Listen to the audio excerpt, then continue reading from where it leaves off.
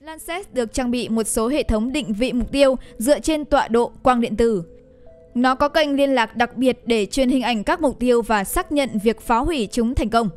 Lancet có thể tấn công mục tiêu trong phạm vi 40 km và có trọng lượng cất cánh tối đa 12 kg. Lancet hoạt động theo cơ chế mang thuốc nổ bay lơ lửng trên không trung và liên tục tìm kiếm mục tiêu.